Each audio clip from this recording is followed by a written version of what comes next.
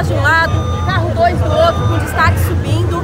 Então vocês estão preparados para acompanhar com a gente a nossa cobertura? Eu vou dar a programação para vocês agora, às 10h30, Acadêmicos do Tucuruvi, 23h35, Colorado do Braz, meia-noite 40, Mancha Verde, 1h45, Tom Maior, 2h50, Unidos de Vila Maria, 3h55 Acadêmicos do Tatuapé e 5 horas fecha com a Dragões da Real.